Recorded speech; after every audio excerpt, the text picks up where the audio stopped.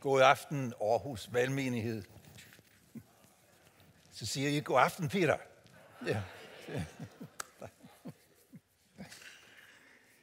Jeg har faktisk ofte haft lyst i mange år til at smutte forbi her og fortælle lidt om det, jeg laver og diskutere det med jer. Og nu er det blevet muligt, takket være initiativ og invitation fra Anders Michael. Så tak til alle sammen, der er mødt op her i aften også. Om præcis en måned har jeg været psykolog i 45 år. Yeah. Jeg er stadigvæk i fuldtids privat praksis i København og i Thy. Man kunne måske undre sig over, for jeg ikke er gået på pension endnu, for det er der mange af mine øh, kolleger, der gør, eller har gjort for længst. Men jeg har det sådan, og det har jeg haft i de sidste 5-6 år, der har jeg det sådan, som jeg først lige nu er ved at komme godt i gang. Og så har jeg jo ikke haft min øh, obligatoriske midtlivskrise endnu heller, ikke? så jeg går og hygger mig med at bilde mere, end jeg har, har god tid endnu. Jeg kalder min tilgang for integreret psykologi, fordi jeg i mit arbejde interesserer mig for det samspil, der hele tiden foregår mellem det fysiske, det psykiske og det åndelige helbred.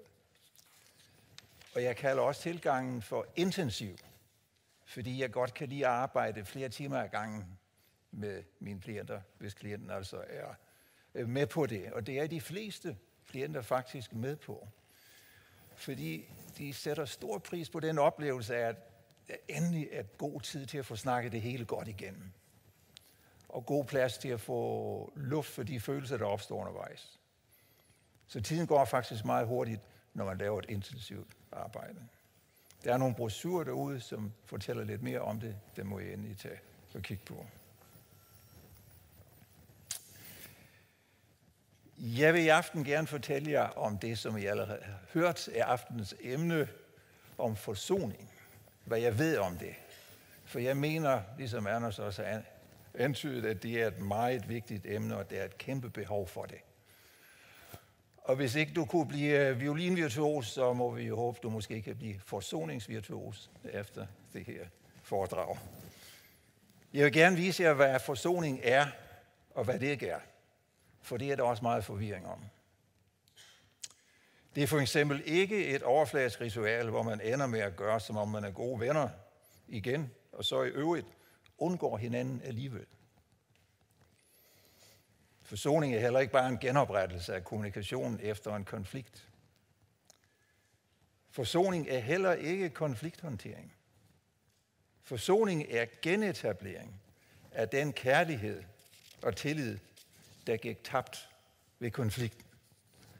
Og det kræver et stykke arbejde. Efter så mange år i faget, som jeg er været, så skulle man tro, at jeg havde lært noget og måske draget nogle dybsindige konklusioner. Og det er jo altid spændende, når man kan sammenfatte dem i et kort udsagn, for eksempel. Skal jeg prøve det? Ja, okay. Er I klar? Koncentratet af årtiers arbejde med mennesker. Det kommer nu.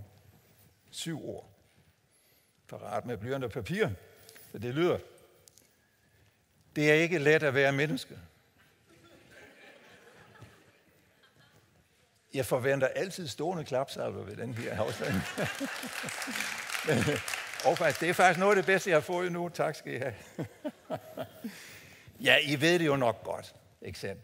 Men en ting er at vide, at det er svært at være menneske. En helt anden ting er at acceptere det. Det drejer sig ikke om, hvordan vi har det, men hvordan vi tager det. Og vi kan tage det på to måder. Enten kan vi se på det som trist og ærgerligt, at det skal være så svært at være menneske. Eller vi kan se på det som en udfordring til at blive kreativ. Altså, vi kan gøre modstand mod vilkåret, eller tage imod det. Vi er ikke herre over, at livet er svært, men vi har stor indflydelse på, om det skal gøres sværere, end det er. Vi skal ikke ligge under for velfærdsstatens ideale forestilling om den lykkelige borger. Det er okay at have det svært. Hvis det ikke er okay at have det svært, så får vi det svært med at have det svært. Og så bliver det hele meget, meget sværere, end det behøver at være. Men hvorfor er det så svært at være menneske? Det er fordi det at være menneske handler om at skulle forholde sig til andre mennesker. Og det er her et af de helt store problemer ligger. Vi er afhængige af andre. Vi eksisterer kun i kraft af vores relationer. Det er i omgang med andre mennesker, at vi bliver bevidste om os selv og udvikler os og hjælper andre med det samme. Så vi indgår alle i relationer. Til kæreste, ægtefælle, børn, forældre, søskende, venner, arbejdskolleger, chefer, præsterne, det kirkelige fællesskab osv. osv.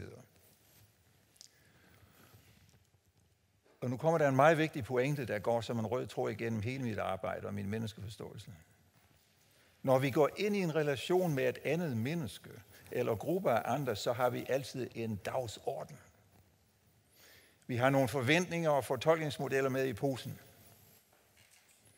De er måske ikke altid tydelige, hverken for os selv eller de andre, men de er der. Og det er fordi, vi hver især har en historie med relationer, der går helt tilbage til starten på livet.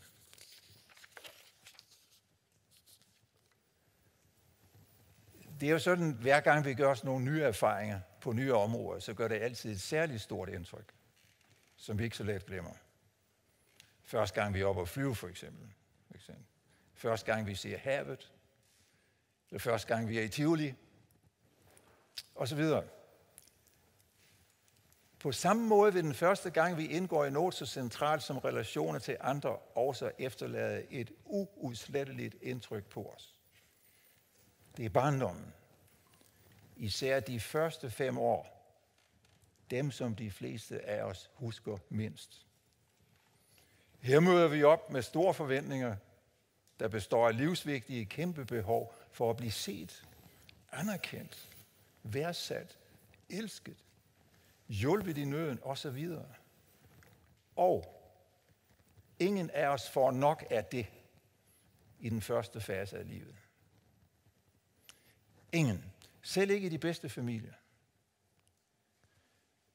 Problemet er, at vi er født med et behov for en ubetinget kærlighed af en kvalitet og et omfang, som ingen forældre kan give. Nu er jeg ikke ude efter at dunke forældre oven i hovedet. Jeg er selv forældre til tre voksne børn. Forældrene gør det bedste, de kan. Problemet er bare, at det bedste, vi kan, er ikke godt nok. Hvorfor tilværelsen er skruet sammen på den måde, det er en anden interessant diskussion, som vi jo må tage med skaberen, når vi på et tidspunkt kan få en audiens der. Øh, så den lader vi ligge lige nu. Vi vokser altså op med et behov for en kærlighed, som vi ifølge sagens natur ikke kan give os selv, og derfor er afhængige af få andre. Det gør os sårbare og meget følsomme i mødet med andre.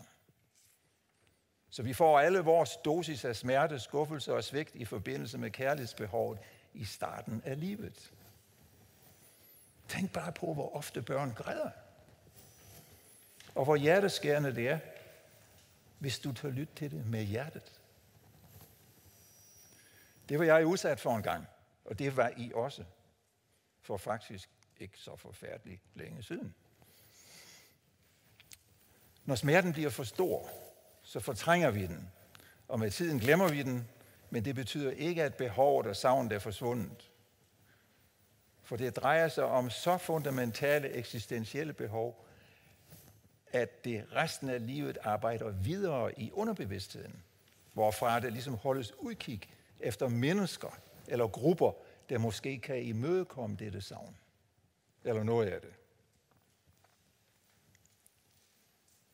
Når vi så går ind i relationer i voksenlivet, for eksempel til kæresten, ægtefælden, nye vennegrupper, studiegrupper, kirken, arbejde osv., så rumsterer disse primale behov altid et eller andet sted i baggrunden. Det er ofte ikke bevidst, og måske også en ny tanke for mange af jer. Men når vi ser tingene i det perspektiv, så får vi en dybere forståelse for, hvorfor konflikter let opstår. Og hvorfor de nogle gange bliver betydeligt mere intensive, end anledningen synes at lægge op til. Hvis man for eksempel er udsat for overdreven bebrejdelse, som så kan en lille kritisk sidebemærkning senere i voksenlivet næsten få ens verden til at bryde sammen. Når vi skuffes, ribbes der op i gamle sår, og så aktiveres den harme, skuffelse og vrede, som oprindeligt rettet mod forældrene dengang, eller omsorgsgiverne, dengang vi var små og afmægtige. Vi turde bare ikke give udtryk for vores smerte og skuffelse dengang, for vi lærte, at det var forbudt at være uartig, eller at skabe sig, eller hysterisk, som det blev kaldt. Og så ud over de mennesker i vores nutidige relationer, der uheldigvis befinder sig på det forkerte sted, på det forkerte tidspunkt, og siger eller gør de forkerte ting. Sådan en tidsforskydning er et psykologisk fænomen, som vi kalder projektion. Altså vi har nogle briller på, der blev formet i en særlig om fortid, om som forvrænger det, vi ser igennem dem i nutiden. Så det er oplagt, at vi især kommer til at overføre gamle lag på mennesker i vores nutid, som vi er følelsesmæssigt afhængige af, eller som har en autoritetsposition i forhold til os. Men disse andre mennesker har jo ifølge sagens natur også brug for anerkendelse og værdsættelse, som præger deres måde at møde os på. Vi sidder altså alle sammen i den samme projektionssubedas. Og den eneste måde, vi kan komme ud over det på, er ved først og fremmest at blive bevidst om det, og betragte det på så vidt muligt en ikke fordømmende måde. Det vil sige uden vrede eller skyldfølelse. For det er gennem de følelser, at projektionerne ofte markerer sig stærkest og gør mest skade. Nu må I ikke få det indtryk, at jeg mener, at alt, hvad der er besværligt i vores relationer, kan reduceres til projektioner. Vores afhængighed af at blive elsket og værdsat af andre er reel nok.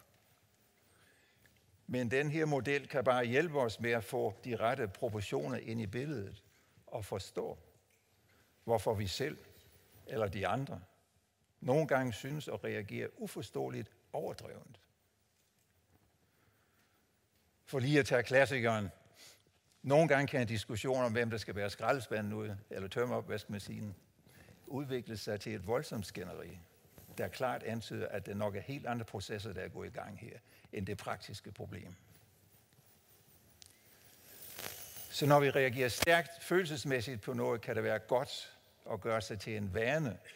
Lige at spørge sig selv, om proportionerne i ens følelsesmæssige reaktion nu også er i orden.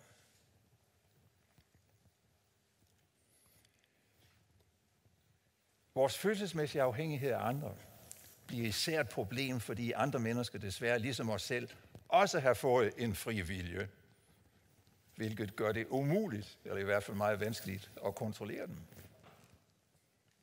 Ofte er andre mennesker uforskammede nok til at bruge denne frie vilje imod vores ønsker. Ja, faktisk tænker de tit mere på sig selv end andre, øh, ligesom vi selv gør. Nej, sådan er vi da ikke. Så at være menneske betyder at være følelsesmæssigt afhængig af nogen, som man ikke kan kontrollere. Kan I se det? Og det siger sig selv, at det er en forfærdelig, ubehagelig og meget risikofyldt situation at befinde sig i. Men jeg sagde også, at det er svært at være menneske. Så i et misforstået forsøg på at gøre det lettere, er begrebet følelsesmæssig afhængighed gået hen og blevet et fyord. I en så individualistisk psykoterapeutisk kultur som vores, er der udviklet en tendens til at dyrke selvstændighed og uafhængighed som særligt beundringsværdige karakteregenskaber at stræbe efter. For det skaber en forestilling, eller illusion vil jeg heller kalde det, om at så kan man undgå at blive svigtet og såret. Det er ikke almindeligt, man hører den her opfattelse, at man for eksempel ikke skal gifte sig med nogen, før man har udviklet så meget selvstændighed, at man sagtens kan være glad på egen hånd. Fordi man vil jo ikke bruge nogen som krykker eller sådan noget. Ikke? Så man skal først have det godt selv og være glad alene. Men hvis man kan det, så tænker jeg, hvorfor i alverden skulle man så gifte sig, og så tage alt det bøvl, som det giver mest. okay. Skal vi hen? Okay.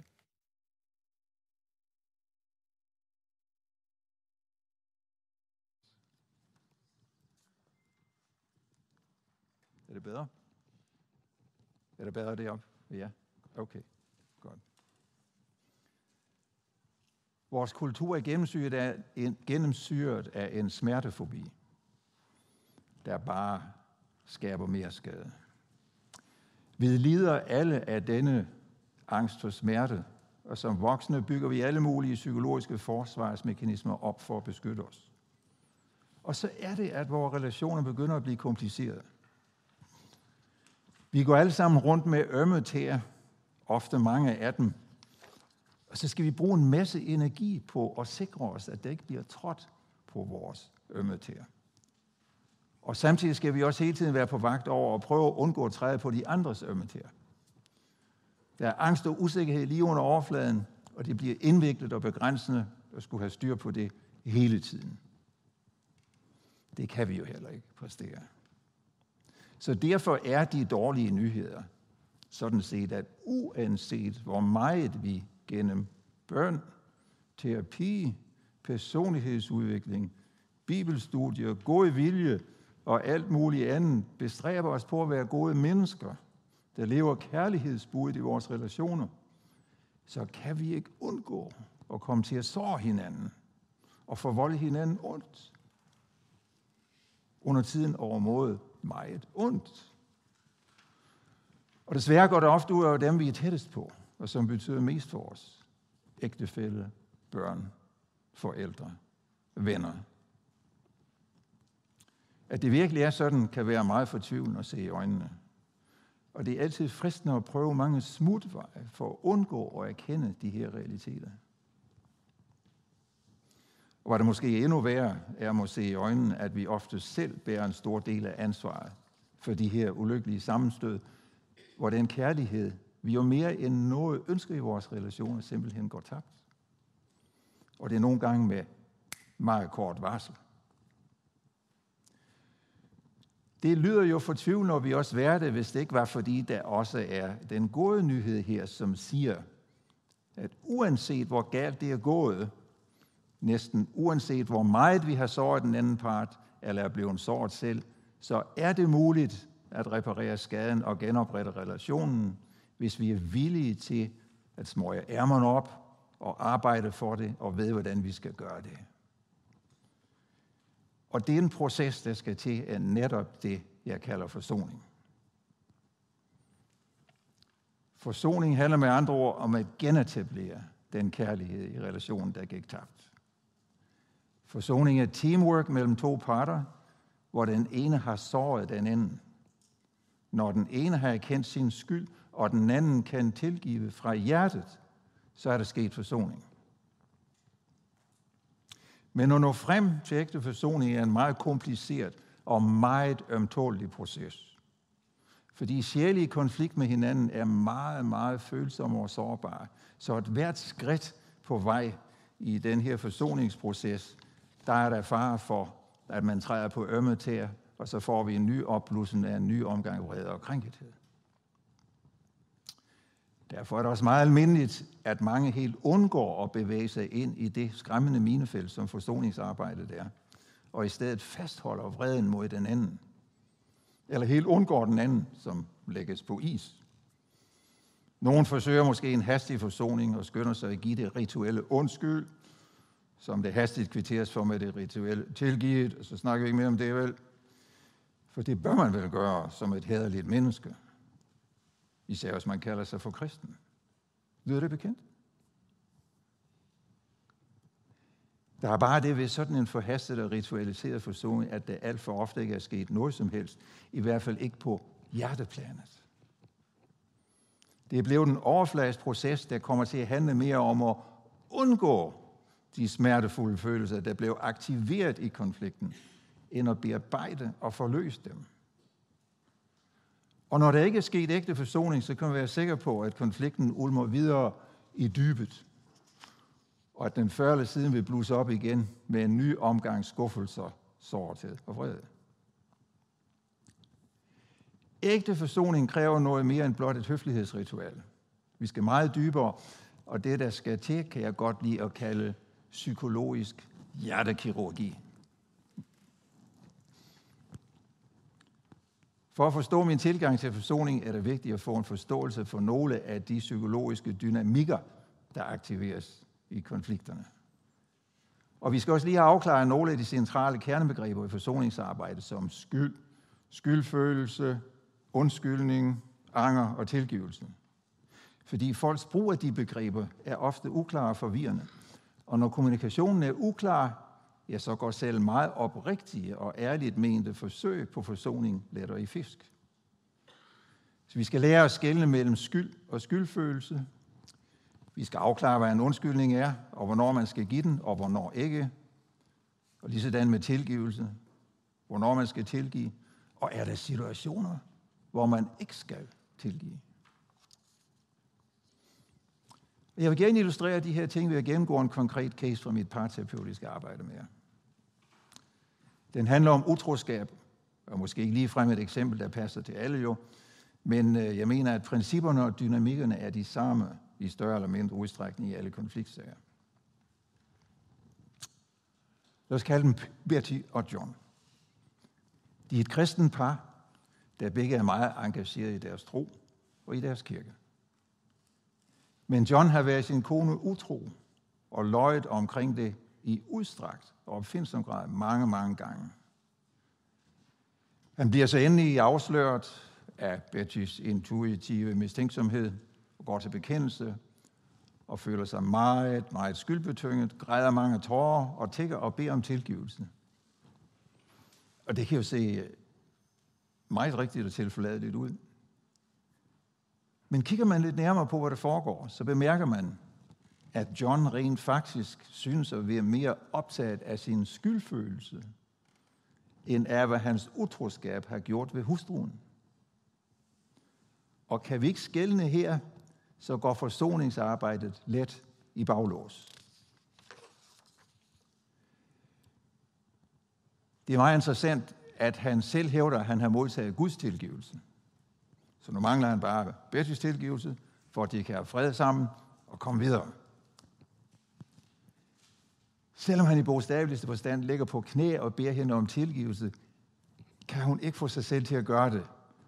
Selvom hun som en god kristen godt ved, at det er noget, hun skal. Så hun veksler mellem på den ene side raseri over hans svigt, og på den anden side depression og skyldfølelse over hendes manglende evne til at tilgive. Det slider meget på hende, og hun er efterhånden et nervevrag og følelsesmæssigt meget ustabil. Samtidig sker der så det, at John, der efterhånden begynder at føle, at han har ret til at blive tilgivet, fordi han har undskyldt så mange gange. Han begynder at blive irriteret på hende, fordi hun ikke kan tilgive ham. Irritation viser, at han begynder at føle, at han har krav på en tilgivelse. Og her kommer der en anden dynamik på spil, der modarbejder forsoning. Fordi tilgivelse er ligesom kærlighed noget, der kun kan gives frit. Okay? Det kan ikke kræves. Meget vigtig pointe. Det glemmer vi også tit i kampens side. Johns irritation skærper naturligvis Bettys modvilje mod at tilgive, men samtidig forstærker den også hendes egen dårlige samvittighed og hendes depressive sindstilstand over ikke at kunne gøre det. Sådan har det kørt i ringen på hjemmefronten i et par uger, dag og nat. Så kommer de begge to til mig for at bede om hjælp. Men til hvad, tror jeg? Til at få hende kureret for depression og modvilje mod at tilgive. Hun så forfærdeligt bleg ud, bekymret og udmattet. Ejendomligt nok så han faktisk helt godt ud. Han så ud til at være rimelig godt tilfreds med sig selv. Nu havde han jo tilstået det hele og gik ikke og holdt på hemmeligheder mere, hvilket var en stor lettelse for ham. Og han havde jo sagt undskyld mange, mange gange, så han følte sig næsten lidt from. De havde begge to købt den vrangforestilling, at det nu var hende, der var problemet, og ikke ham.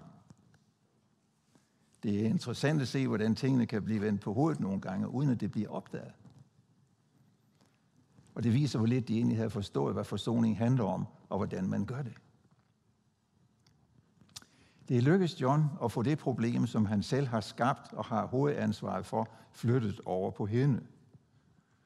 Så man kan sige, at han i en psykologisk forstand er utro igen, i det han svigter hende ved at hytte sit eget skin og lade hende tilbage med smerten. Han svigter altså igen det fællesskab, der gerne skulle være mellem to ægtefæller, hvor man bærer byrderne sammen. Derfor er det ikke så sært, at hun er forvirret og ikke kan tilgive. For man kan jo ikke tilgive en krænker for et svigt, han i en vis forstand bliver ved med at gentage lige for næsen af en. Kan I se det? Hun forstår bare ikke de her dybere aspekter af hendes egentlig meget sunde modstand mod at tilgive. Hun føler sig deprimeret over sin magtesløshed, for hun vil jo gerne gøre det rigtige og mener, det er en åndelig pligt. Så jeg prøver først, om jeg kan flytte den del af problemet, der tilhører ham, tilbage til ham. Jeg siger til hende, at jeg godt kan forstå, at hun ikke kan tilgive, og med stor autoritet og overbevisning tilfører jeg, at sådan noget er faktisk umuligt at tilgive. Det kan godt være, hun slår ørerne ud og begynder at vågne op af sin depressive trance og vender meget spændt på lidt mere forklaring fra mig, der kan bekræfte, at hun hørte rigtigt. Samtidig kan man se, at John begynder at blive utilpas. Han havde det ellers lige så godt. Hans gråsikre selvtilfredshed og velvære er truet. Så jeg gentager. Nej, sådan nogle ting er umulige at tilgive. Og tilføjer så af egen kraft.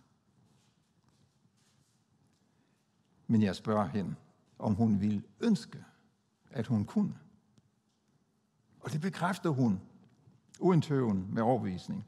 Hvilket jo viser, at hendes hjerte er det rigtige sted. Ånden er villig, kan man sige, men kødet er skrøbeligt. Har I hørt det før? Og hun er jo kun en menneske, og man skal have lov til ikke at kunne, når man ikke kan. Det giver sig selv. Det er den åndelige dimension af det her problem. Der er tilgivelse for, at hun ikke kan tilgive. Okay. Men der er også en psykologisk dimension til problemet.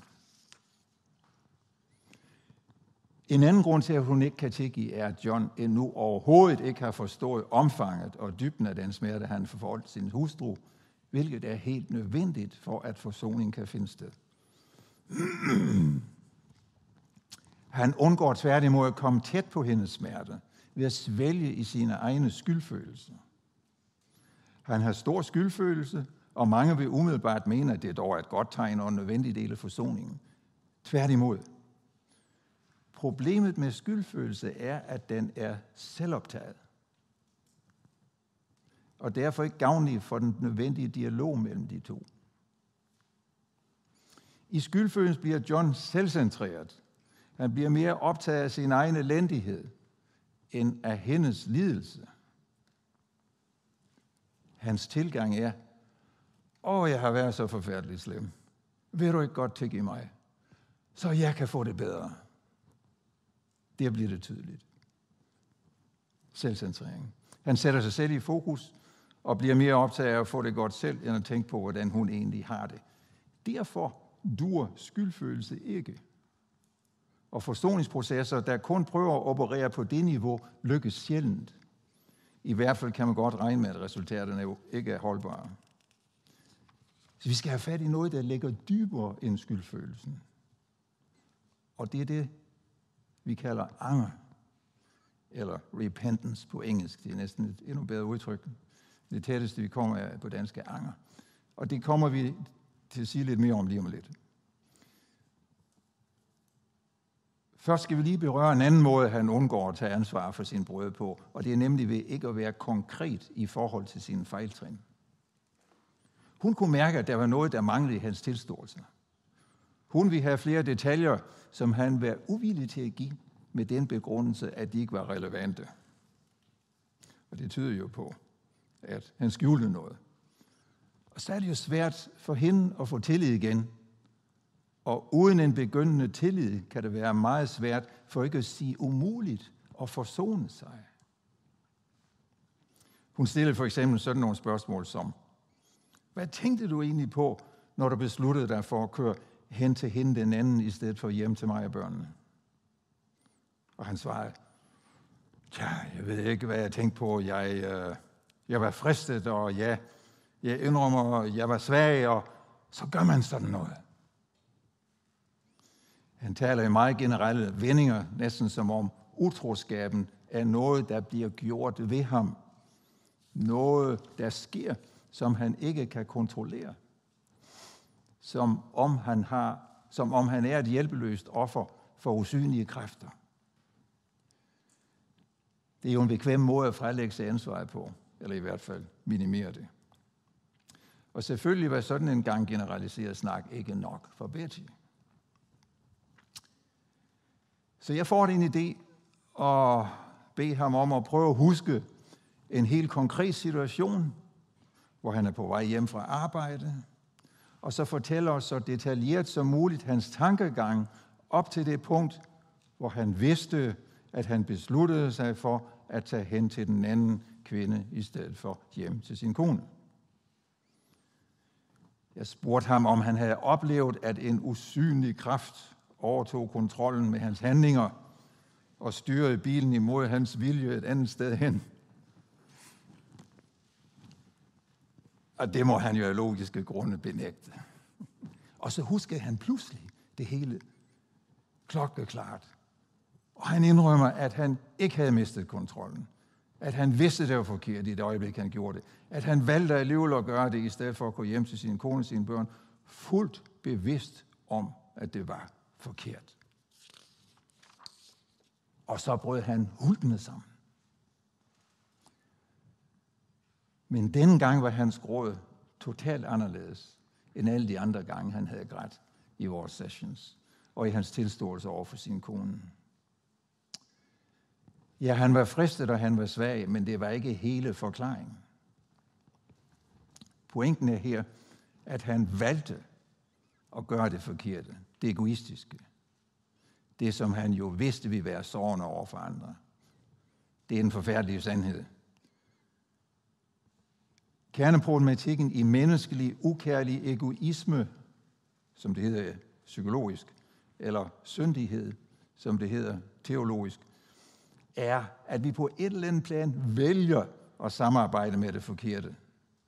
Og så prøver vi lynhurtigt at dække over denne forfærdelige sandhed med mange snedige og udspekulerede psykologiske manøvrer og bortforklaringer.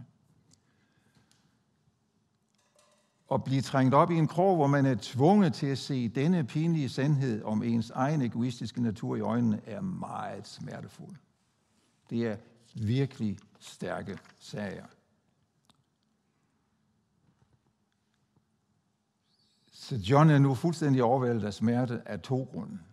Han er chokeret over at måtte erkende nogle frygtelige sandheder om sig selv, for hans selvforståelse havde altid handlet meget om, at han var en pæn, ansvarlig, afholdt person, en god kristen ægtemand, familiefar, forsørger osv. Men han bliver også pinligt bevidst om, hvor smerteligt dette svigt må være for hans hustru. Han ser sin egen syndige egoisme, kan man sige, afsløret som i fuld dagslys.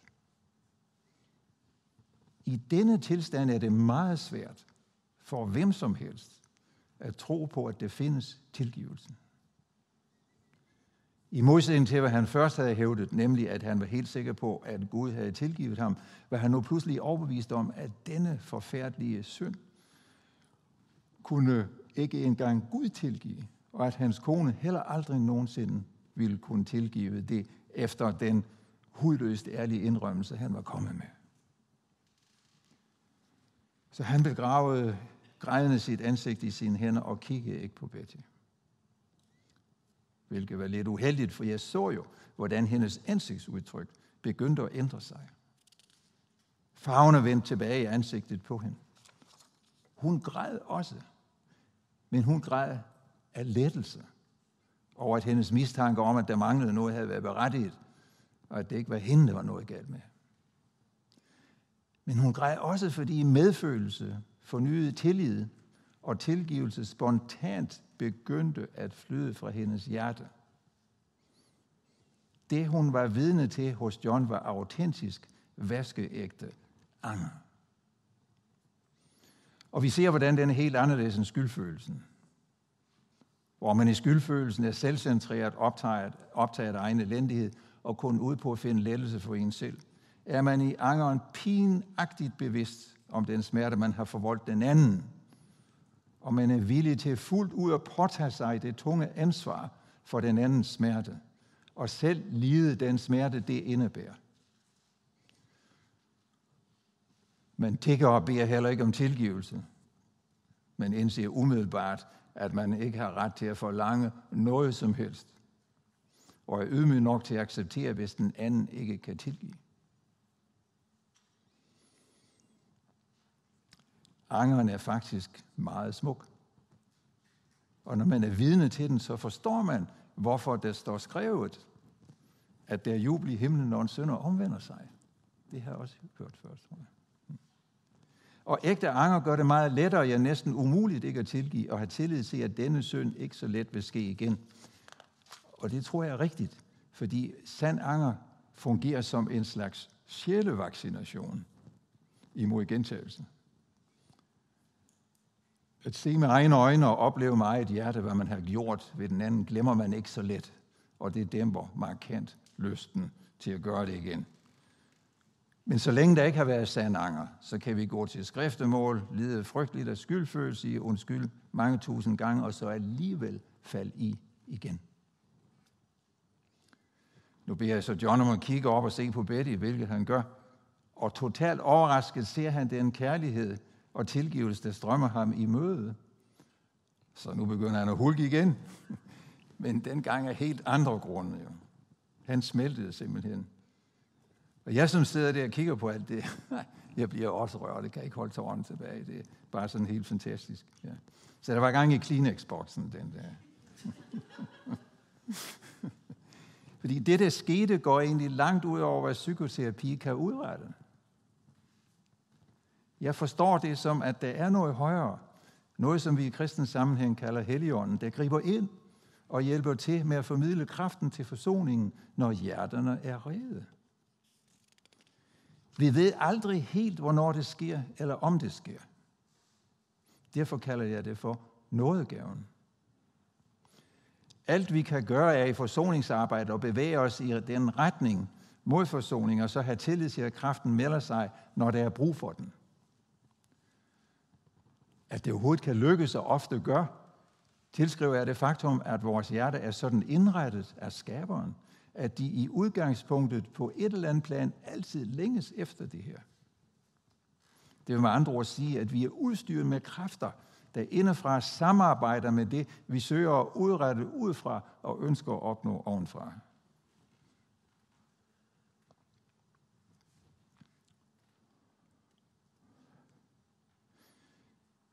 På baggrund af de ting, vi har lært ved at følge Betty og John i processen, kan vi jo så udlede nogle generelle principper øh, og vedrørende tilgivelse og undskyldninger.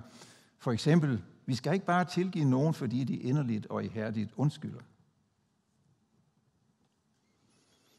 Og du kan bruge det som en tommelfingerregel, at hvis nogen begynder at blive irriteret på dig over, at du har svært ved at tilgive dem, så er der ret sikkert tegn på, at de slet ikke har forstået din side af sagen, og at angeren ikke har indfundet sig eller gået dybt nok.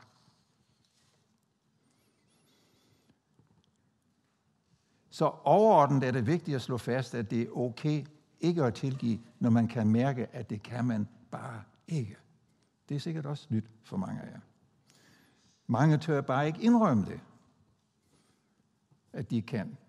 Fordi vi har fejlagtigt fået den opfattelse, at hvis jeg ikke tilgiver min næste, så vil Gud ikke tilgive mig. Det er helt forkert, mener jeg, og i min optik en misforstået tolkning af fadervor. Tilgivelse er lige så vel som kærlighed ikke noget, man kan tvinge sit hjerte til. Det ved Gud da godt. Så skal vi i dialog med Gud, så skal vi jo være hudløst ærlige om, hvor vi er. Sandheden sætter dig fri, siger han. Men det er altid vigtigt at prøve, om vi kan finde det sted inde i os selv, hvorfra man oprigtigt kan sige, Jeg vil ønske, jeg kunne tilgive. Jeg kan bare ikke. Det er jo helt okay, for så kan man jo søge og bede om hjælp til at blive i stand til det. Og der kan et samarbejde mellem psykoterapi og åndelig vejledning være meget brugbart.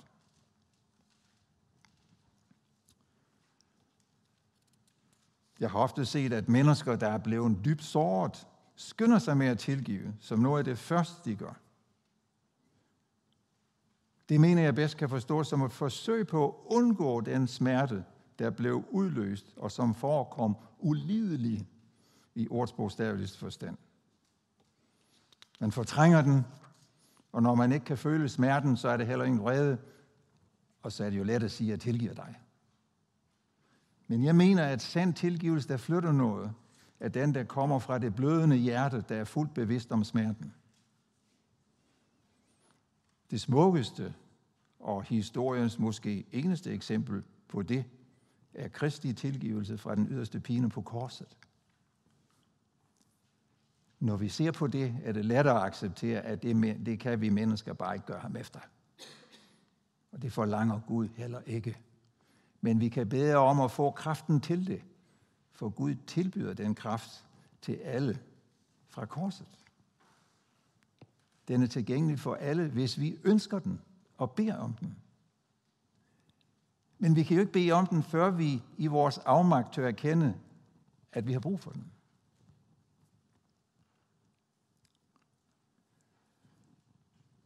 Som nævnt, så er forsoningsarbejde teamwork.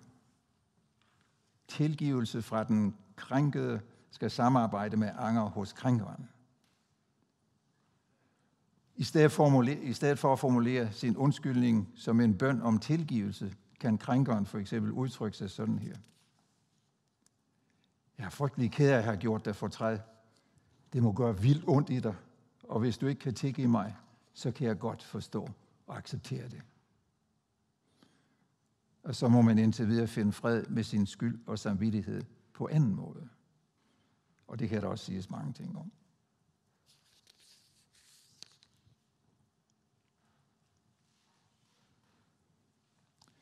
Nu ved jeg en lille smule mere om, hvad jeg tænker, hvordan jeg tænker og arbejder med forsoning.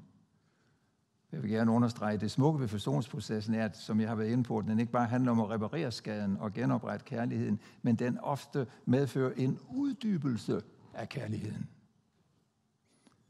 Anger og tilgivelse korrekt udført er ikke bare reparationsredskaber, men faktisk nogle af kærlighedens meget stærke udtryksformer.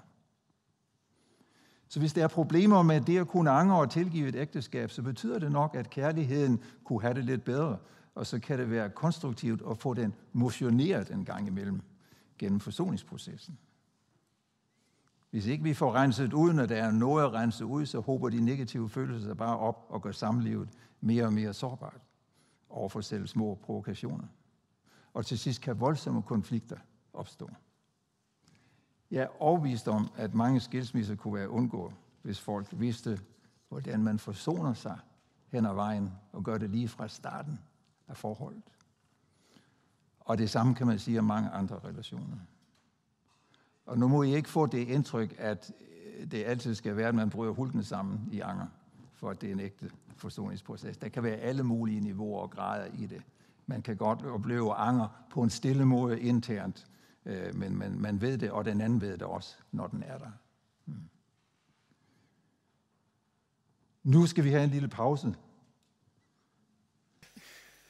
Og det bliver også godt at få spørgsmål senere, fordi øh, det er jo umuligt at dække det hele her, så alle de ting, I gerne vil have øh, diskuteret, som ikke bliver dækket her, dem tager vi op øh, bagefter.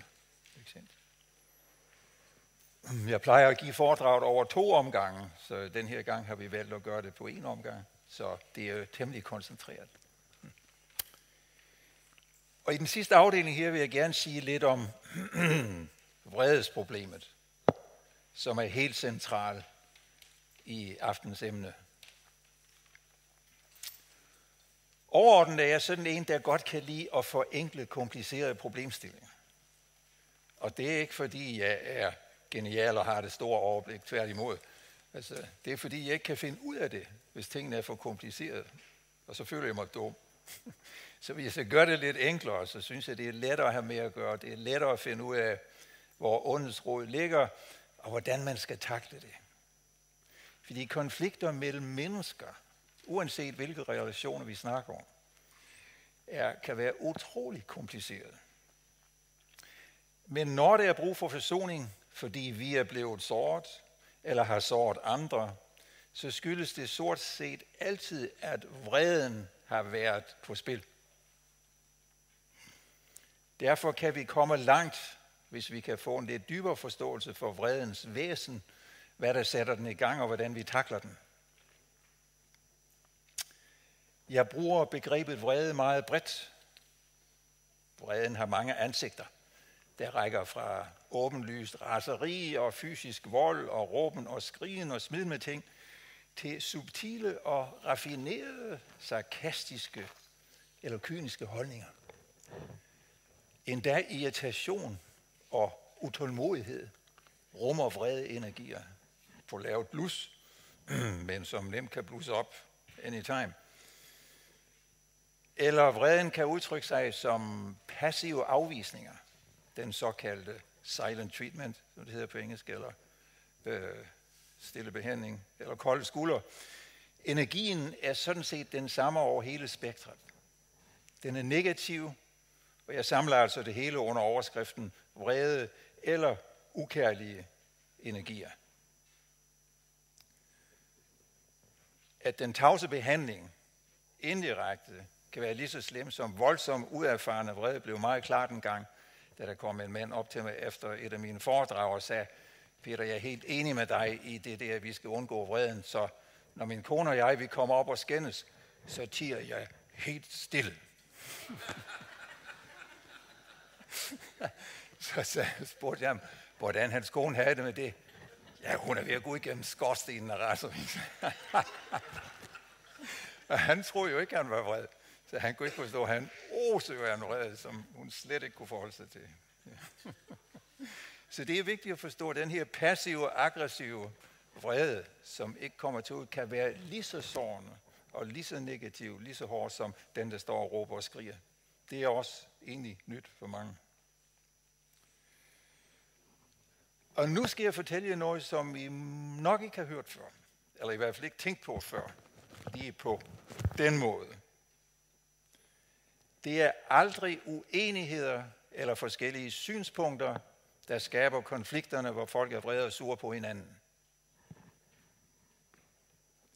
Det er det, at vi kan finde ud af at gå i dialog om uenighederne på en kærlig og respektfuld måde, der er problemet. I de fleste konfliktladede diskussioner er vreden altid aktiv eller ligger på lur, parat til at bryde frem, og så dominerer den. Og det præger selvfølgelig hele dialogklimaet, hvor man bliver utryg, defensiv eller aggressiv. Nu er det heldigvis sådan, at de fleste af os jo slet ikke bryder os om at være vrede, for hvem gider være sådan sur skiderik, ikke også? Derfor, når vi så alligevel bliver vrede, hvad gør vi så? Jamen, det er selvfølgelig opligt at give den anden skylden for, at jeg blev vred. Når nogen sårer mig, og jeg bliver vred, så oplever jeg rent faktisk, at det er den anden, der gør mig vred. Når du bebrejder mig, når du kalder mig dum, når du ikke holder dine løfter, når du ikke svarer bare vender dig om og går, så gør du mig vred. I kender alle en masse eksempler på det. Det er en særdeles udbredt fortolkning af sammenstødet, som stort set alle køber. Men som jeg skal vise jer, at det den skæbnesvanger fejlagtig. Og den er decideret farlig, for den medfører blot én ting, nemlig en optrapning af konflikten. For nu bliver den anden jo også såret af min vrede, og reagerer med et nyt lag bebrejdelse og vrede, som han eller hun ligeledes ikke selv tager ansvar for, men nu giver mig skylden for, og så fremdeles i en uendelighed.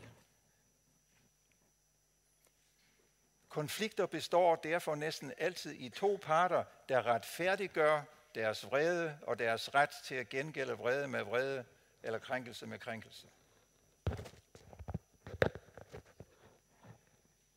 Vi kan måske godt se, at det er ukonstruktivt, men vi bliver fanget ind af det alligevel. Jeg tror, den sidder lidt skævt.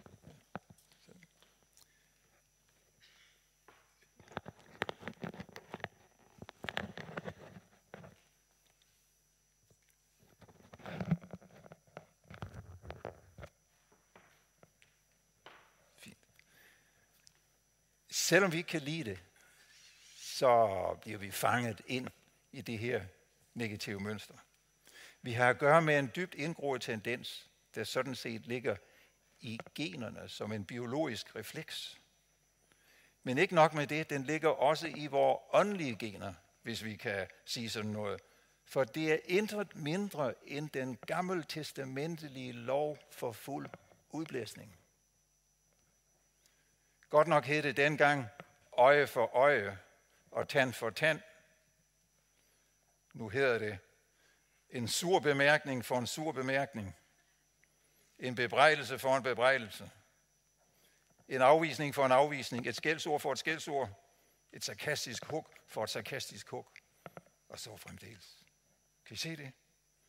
Vi er nødt til at bryde med den mekanisme, for man behøver jo ikke være dybdepsykolog for at forstå, at denne dybest set ret naive indstilling i det lange løb kun kan føre til gensidig destruktion og brudte forhold. Det er i den sammenhæng meget interessant at se, hvordan Kristus netop kommer for at etablere en radikalt ny lov, der skal bringe vanvittigt til ophør, ved ikke at legalisere retten til at gengælde ondt med ondt, men snarere vende den anden kendt til, som han siger, for at sætte sagen på spidsen. Men øh, er det så ikke bare tro og teologi og kristendomsk idealisme og sådan noget, som bare ikke duer i praksis? Nej. Den oplevede ret til at gengælde ondt med ondt strider også imod almindelig psykologisk logik. Sker der noget igen her?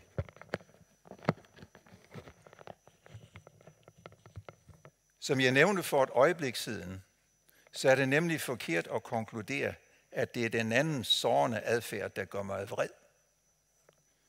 Hør godt efter. Min vrede er aldrig den første reaktion. Jo, måske den reaktion hos mig selv, som jeg først bliver opmærksom på. Men der sker også noget andet. Når min klient derfor beklager sig over, hvordan den, øh, hvordan den anden gjorde ham eller hende vred, så spørger jeg altid vedkommende, og det vil jeg lige spørge jer alle om. Hvis I lige vil tænke på en situation, hvor nogen gjorde jer rigtig vred, hvad var så det allerførste, du oplevede, lige inden du blev vred? Var der måske en helt anden følelse, bare en brøkdel af et sekund, inden du tændte af i vrede og gav igen, eller lukkede af? Med en kold eller bitter afvisning.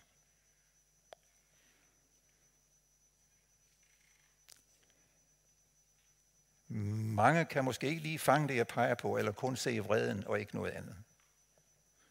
Men med lidt hjælp og tålmodighed vil de fleste hurtigt opdage, at der rent faktisk er noget helt andet end vrede lige til at begynde med.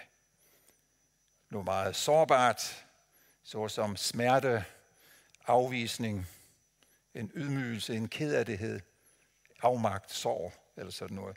Med andre ord, den allerførste reaktion er ikke vrede, men en følelsesladet tilstand, der er fortættet med sårthed og smerte. Og fordi der i denne smerte opleves så meget sårbarhed, at det næsten er umuligt at udholde den, så kan vi undgå den ved nærmest helt refleksagtigt hurtigt at gå over i en helt anden følelse, som for eksempel vrede eller foragt, og så reagerer vi derfra. Det har den funktion, at når vi retter vores opmærksomhed ud efter i et angreb på den anden, så kan vi undgå at mærke det værste af den her nærmest uudholdelige sårbarhed i os selv.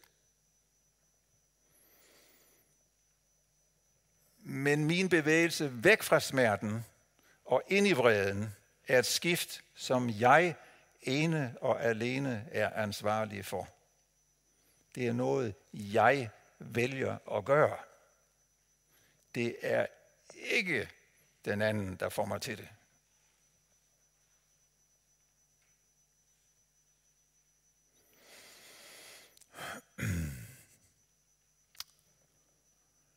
Hvis I tænker grundigt over det, jeg lige har sagt, så har det faktisk vidtrækkende konsekvenser for vores forståelse af den psykologiske dynamik i konflikter, og hvordan vi skal bryde den og forstå parterne.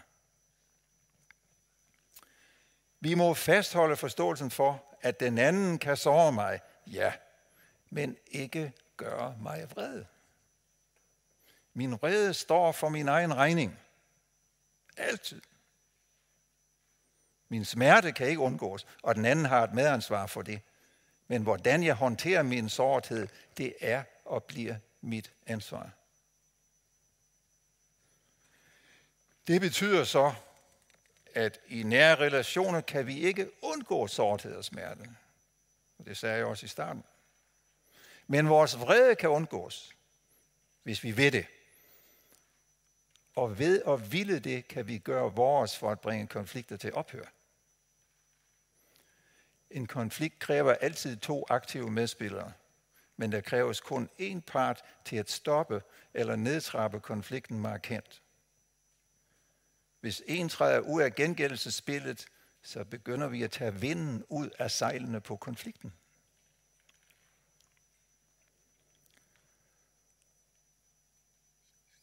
Ved konfliktløsning er det derfor ikke så afgørende at finde ud af, hvem der startede konflikten, og give vedkommende hele skylden for balladen, hvilket der let går sport i. Det afgørende er at finde ud af, hvem der holder konflikten kørende.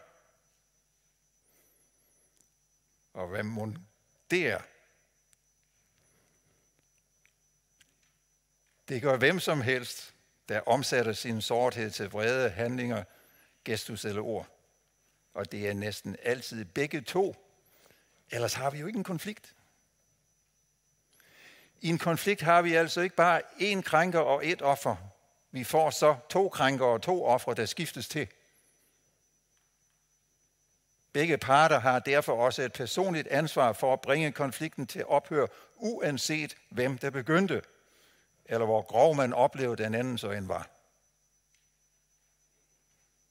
Men uanset om den anden gør sin del, bør jeg gøre min. Ham Jesus der, han har også snakket om splinter og bjælker. Ikke sandt? Vi skal ikke fokusere på splinten i modpartens øjne, men bjælken i vores eget. Ikke sandt? Det synes jeg giver god mening, både teologisk og psykologisk. Hvad er det så helt konkret, jeg skal gøre for at bringe konflikten til ophør? Jeg må træde ud af min vrede og modstå fristelsen til at gengælde negativt med negativt. Og det kan jeg gøre ved at træde ind i det, som ligger bag min vrede.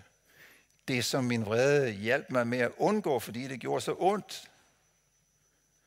Jeg må altså træde ind i min sårthed, min smerte, og rumme den. Det har vi et andet ord for. Det hedder lidelse. Og det er ikke populært. Så det er meget lettere sagt end gjort, det jeg står og siger her. Derfor er det nødvendigt, at man begynder med en håndfast commitment til princippet om, at vrede, der har til hensigt at såre den anden, er aldrig okay.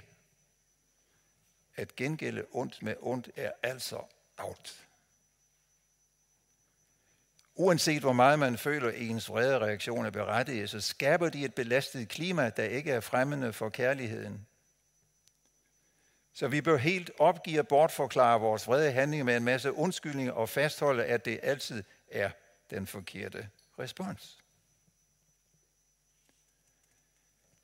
Udover at det som sagt giver mening fra et psykologisk standpunkt, så er det jo samtidig en dyb kristen tankegang. Det er helt centralt tema i den kristne livsanskuelse, som på rystende og provokerende vis udbasuneres fra korset, ikke sandt? hvor Kristus fredsfyrsten, konflikternes banemand, kan vi kalde ham. Han viser, hvad det vil sige ikke at gengælde med ondt, ondt med ondt, så det batter. Og dermed bryder han konfliktens og ondskabens magt. For den trives kun ved at blive gengældt. Som jeg siger, ondskab er en meget stærk magt i skabelsen, men den har en svaghed. Den kan kun trives, hvis den bliver gengældt. Og det, det man prøver på, det er, at man skruer virkelig alt på for at få Kristus til at blive sur knotten og gnaven og begynder at bande og sværge. Det gjorde han jo ikke og bryder den ondes magt ved ikke at gengælde det. Det er, det, fantastiske. det er en af de fantastiske ting ved hele passionen der. Og så siger han, hvis du vil følge mig, så må du tage dit kors op. Og det er jo en overmenneskelig udfordring. Men det er også underforstået, at han vil give os kraften til det, hvis vi beder om det.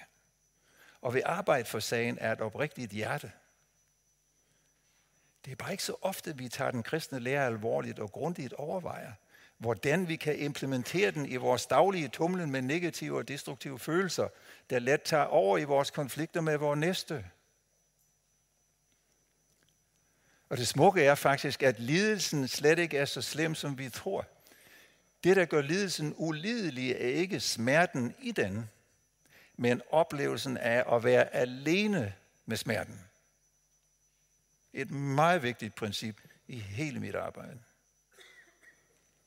Der gik mange år som psykolog, før jeg opdagede det med mine klienter, at det, der var problemet, det ikke var alt det, de havde det dårligt og svært med.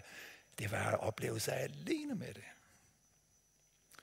Når vi får følgeskab af mesteren i vores lidelse, som hans passion handler om, eller af et andet medlidende menneske, hvis man for eksempel ikke har et gudsforhold, eller begge dele, jamen så er det næsten ingen grænser for, hvad man kan klare, når man ikke er alene med det.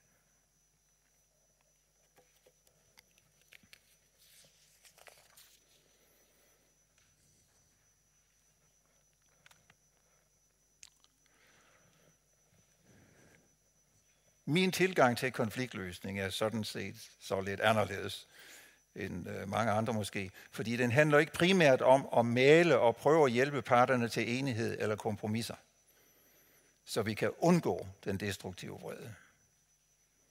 Det er helt sikkert okay at prøve på det, og fint nok. Det er ikke det. Jeg kan bare godt lide at gå omvendt til værks. Jeg siger, vi skal først og fremmest af med den destruktive vrede, så kan vi sætte os ned sammen og finde en løsning og ofte hurtigere. I mit arbejde med mennesker i konflikt, som for eksempel parterapi, men det kunne være i alle relationer, der er betændte, der foreslår, foreslår jeg altid parterne at indgå en kontrakt med hinanden, hvor de forpligter sig til den regel. Altså man har den destruktive vrede at man har styr på den. Det betyder ikke, at man kan overholde det. Vi har det jo med at blusse op nogle gange. Vi er jo kun mennesker. Men det betyder, at hvis vi har vedtaget en regel, så kan vi aldrig retfærdiggøre det. Og at vi vil påtage os det fulde ansvar, når vi i kampens side kommer til at bryde princippet. Vi kan ikke længere retfærdiggøre vores negative vrede ved at henvise til den anden. Sker det, så må vi rydde op efter os og angre og undskylde alt det der. Hvis der er nogen, der synes, jeg maler fanden lidt for meget på væggen, hvad vrede angår, så vil jeg gerne skynde mig at understrege, at det er bestemt ikke mig, der har opfundet alvoren i det, jeg står og siger. Hvis der er nogen, der maler fanden på væggen, så er det sandelig mesteren selv. Jesus understreger nogle næsten uhyggelige alvorlige ting om dette emne i vores kære Bibel. For eksempel siger han i Matthæus kapitel 5, vers 21-22, siger han, i har hørt, at der er sagt til de gamle, du må ikke slå ihjel, og den, som slår ihjel, er skyldig for domstolen. Men jeg siger jer, at enhver, som bliver vred på sin bror, er skyldig for domstolen. Og den, som siger til sin bror, raka, som betyder idiot, er skyldig for det store råd.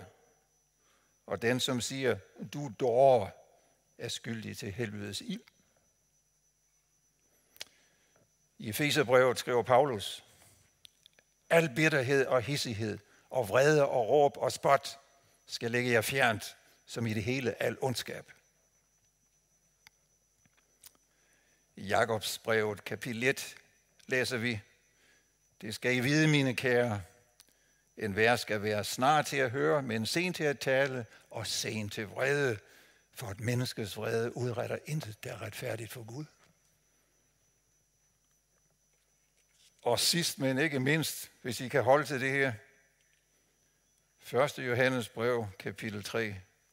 En hver, der hader sin bror, er en morder.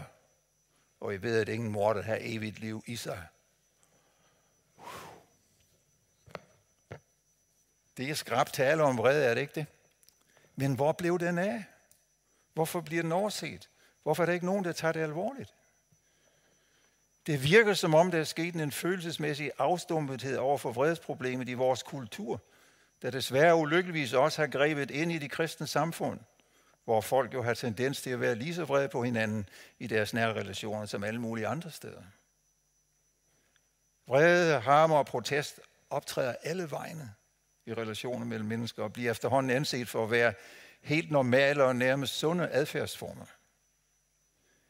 Det har nok efterladt en forvirring på området, der gør det vanskeligt for den enkelte at skille skarpt mellem, hvad der er konstruktivt og hvad der er destruktivt. Derfor finder jeg det også vigtigt at skille mellem positiv og negativ vrede.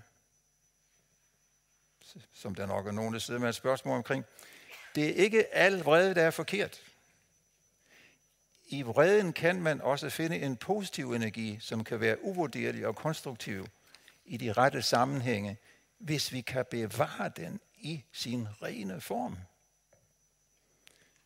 Den har vi brug for til at sige fra, sætte klare og sunde grænser, når vi skal sige nej til noget, som ikke er godt for os, når vi skal holde ud og gennemføre et vanskeligt projekt, når vi skal træffe meget vanskelige beslutninger, hvor nogle muligheder jo skal forkastes, når der skal tages initiativer til udfordrende opgaver osv. Den form for sundvrede kalder jeg positiv aggression.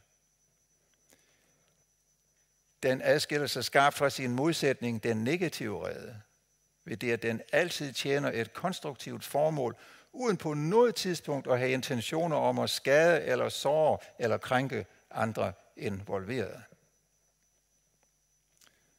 Og skulle den komme til det, må den straks beklage og tage initiativ til noget forsoningsarbejde.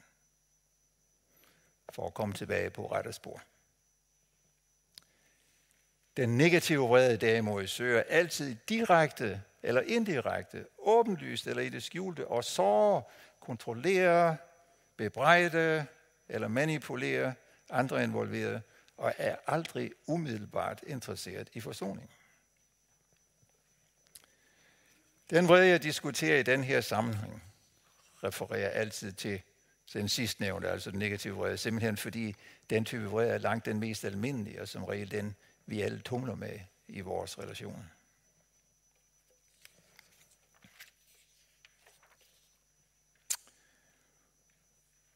Okay, det var mit lille lynkursus i forsoningens kunst. Jeg har foreslået et og en metodik, som det er mit håb, giver mening, hvad enten man er krænker eller offer. For hvis begge parter har en fælles forståelse af, hvad forsoning er, så har vi et ideelt udgangspunkt for, at en forsoning kan lykkes. Grunden til, at jeg kalder det forsoningens kunst og nådegave, er, at jeg mener, mener, vi må arbejde ihærdigt med alt det psykologiske efter alle kunstens regler, som om det hele afhænger af os. Og samtidig skal vi bede som besat om hjælp fra oven, som om det hele afhænger af nåden. Så kan det ikke gå helt galt. Tak fordi I vil lytte til denne hårde kost.